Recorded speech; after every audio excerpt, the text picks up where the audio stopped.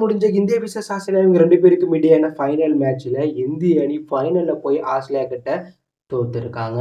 எட்டு வருடத்துக்கு பிறகு மீண்டும் ஆஸ்திரேலியா அணி உலக கோப்பையை ஜெயிச்சிருக்காங்க. இந்த மேட்ச்சில் இந்திய அணி எப்படி தோத்தாங்க எதனால் ஆஸ்திரேலியா ஜெயிச்சாங்க அப்படின்னு தான் பார்க்க போகிறோம் டாஸை வெற்றி பெற்ற ஆஸ்திரேலியா கேப்டன் தைரியமாக பந்து வீச்சு தேர்வு செஞ்சாங்க. முதல்ல பேட்டிங் ஆடிய இந்திய அணியில் ரோஹித் சர்மா சுபம் கில் ரீசெண்டான தொடக்கம் கொடுத்தாலும் கில் நான்காவது ஒரு ரெண்டாவது பால் முப்பது ரன் இந்தியா இருக்கும்போது முதல் விக்கெட் அவுட் ஆயிட்டாங்க. கில் வெறும் ஏழு பாலுக்கு நான்கு ரன் அடிச்சிருக்கும் போது ஸ்டார்க் போட்ட பால்ல ஜாம்பாட்டை கேட்ச் கொடுத்துட்டு வெளில போயிட்டாங்க. இது இந்திய அணி தோல்வி பெற முக்கிய காரணமாக பார்க்கப்பட்டது. ஏன்னா கில் மட்டும் இந்த மேட்ச்ல ஒரு ஐம்பது ரன் அடிச்சிருந்தா இந்தியா முன்னூறு கூட அடிச்சிருக்கலாம். அதற்கப்புறம் உள்ள வந்து விராட் கோலி ரோஹித் கூட பார்த்து அமைச்சு சூப்பராக விளாண்டாலும் ரோஹித் சர்மா முப்பத்தோரு பாலுக்கு நாற்பத்தி ஏழு ரன் அடிச்சிருக்கும் போது முக்கியமான நேரத்தில் சம்மந்தமே இல்லாமல் மேக்ஸ்வெல் போட்ட பாலில் கேட்ச் கொடுத்துட்டு வெளில போயிட்டாங்க. ஏன்னா அந்த ஓவரில் ஏற்கனவே பன்னெண்டு ரன் வந்திருக்கும். சிங்கிள் வச்சு கிரீஸில் நின்று இருந்தாலும் ரோஹித் செஞ்சுரி அடிச்சிருக்கலாம். இந்தியா ஜெயிச்சிருக்கலாம். அதுவும் இந்திய அணி தோக்க முக்கிய காரணம். அதுக்கப்புறம் உள்ள வந்து செய்ய செய்ய மூன்று பாலுக்கு நான்கு ரன் அடிச்சிருக்கும் போது கமிங்ஸ் போட்ட பாலில் கேட்ச் கொடுத்துட்டு அவரும் டாட்டா கட்டிட்டு வெளில போயிட்டாங்க.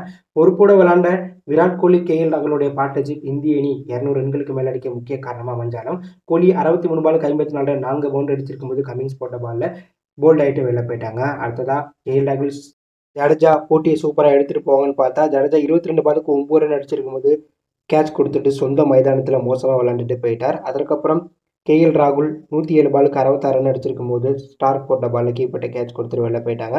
பெரிதும் எதிர்பார்க்கப்பட்ட சூரியகுமார் அதை இருபத்தெட்டு பாலுக்கு பதினெட்டு ரன்லையும் முகமது சம்மி திடீர்னு ஏன் வந்தேன்னு தெரியாமல் பத்து பாலுக்கு ஆறு ரனில் அவுட் ஆயிட்டாங்க. பும்ரா மூன்று பாலுக்கு ஒரு ரனில் அவுட் ஆக குல்தீப் யாதவ் முன்னாடி வர ஆளை பின்னாடி இறக்கி விட்டு நல்லா விளாண்டார் குல்தீப் யாதவ் பதினெட்டு பாலுக்கு பத்து ரன் அடிச்சு கிரீஸ்ல இருந்தார். சிராஜ் ஒன்பது பாலுக்கு எட்டு ரன் அடிக்க இந்திய அணி ஐம்பது ஒரு முடியல பத்து விக்கெட் பேருக்கு இரநூத்தி நாற்பது ரன்கள் மட்டுமே தான் அடித்தாங்க ஸோ ஒரு ஐம்பது ரன் கம்மியாக அடித்தாங்க இதனுடைய வந்துச்சு வேற லெவலில் இருந்துச்சு. பின்னர் கிளம்பிறங்கி ஆஸ்திரேலியாவுடைய தொடக்கம் மோசமாக இருந்துச்சு.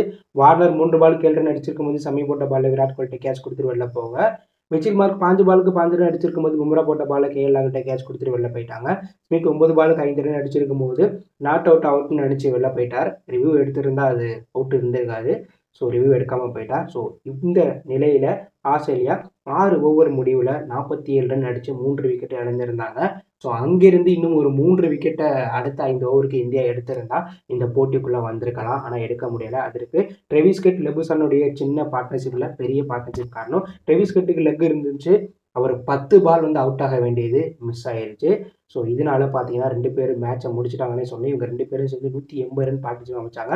இல்லை ட்ரெவிஸ் கெட் இந்தியாவுக்கு எதிராக சதம் அடித்தது மட்டும் இல்லாமல் வேர்ல்டு கப் ஃபைனலில் அதிக ரன் அடித்த வீரர்கள் பட்டியலில் மூன்றாவது இடத்துக்கும் முன்னேறி சாதனை படிச்சிருக்கார். ட்ரெவிஸ் கெட் மற்றும் லெபுசானி விக்கெட்டை எடுக்க முடியாமல் திணறின இந்திய பவுலர்களுக்கு பல்பு தான் கிடச்சிச்சு. நாற்பத்தி ரெண்டாவது ஒரு ஐந்தாவது பால் இரநூத்தி முப்பத்தொம்பது ரன் இருக்கும்போது தான் ட்ரெவிஸ் கட் அவுட் ஆனார். ட்ரெவிஸ் கட் நூற்றி இருபது பாலுக்கு நூற்றி முப்பத்தி ரன் பதினைந்து பவுண்டரி நான்கு நூற்றி பதினாலு கிட்ட சேர்க்கிட்டு இருக்கும்போது சிராஜ் போட்ட பாலில் சுபம் கில்ட்ட கேட்ச் கொடுத்துட்டு வெளில போயிட்டார். ஸோ உலகக்கோப்பை ஃபைனலில் ஆஸ்திரேலியா வீரராக அதிக ரன் அடித்த வீரர்கள் பட்டியலில் இரண்டாவது இடத்துக்கு முன்னேறி இருக்கார் ட்ரெவிஸ்கட் ஸோ அதற்கப்புறம் உள்ளே வந்த மேக்ஸ்வெல் வின்னிங் ஷாட் அடித்து ஆஸ்திரேலியா அணியை வெற்றி பாதைக்கு அழைச்சிட்டு போயிட்டார். ஸோ இந்த மேட்ச்சில் லெபுசானை நங்குரம் போல நூற்றி பத்து பாலுக்கு ஐம்பத்தி எட்டு நான்கு பவுண்டர் அடித்து கிரீஸில் இருந்தார். ஆஸ்திரேலிய அணி நாற்பத்தி மூணு ஓவர் முடிவில் நான்கு விக்கெட்டில் போயிருக்கு. இரநூத்தி நாற்பத்தி ஒரு ரன் அடித்து ஆறு விக்கெட் வித்தியாசத்தில் வெற்றி பெற்று கோப்பையை ஆறாவது முறையாக ஜெயிச்சிருக்காங்க. இந்திய அணி ஃபைனலில் தோற்று வெளியேறியிருக்காங்க இந்த மேட்ச்சில் தோற்ற உடனே இந்திய வீரர்கள் மைதானத்திலே கண் கலங்கிட்டாங்க. ஸோ இந்திய அணி இந்த மேட்ச்சில் மோசமாக பேட்டிங் விளாண்டாங்க மோசமாக பந்து வீசியிருக்காங்க. ஒரு ஐம்பது ரன் கூட அடிச்சிருந்தா இந்தியா இந்த மேட்ச்சில் ஜெயிச்சிருக்கலாம். ரோஹித் சர்மா அந்த சமயத்தில் அந்த ஷாட் ஆடாமல் இருந்திருந்தா ட்ரெவிஸ்கட் போட நல்லா விளாண்டுருக்கலாம் ஸோ ரோஹித் சர்மா இந்திய பவுலர்கள் இந்த தோல்விக்கு முக்கிய காரணமாக அமைச்சிட்டாங்க ஸோ இந்தியாவுடைய இந்த தோல்வியை பற்றியும் ஆஸ்திரேலியோட இந்த வெற்றியை பற்றி நீங்கள் நினைக்கிறீங்க? அப்படின்னு கருத்தை கவலை பண்ணுங்கள்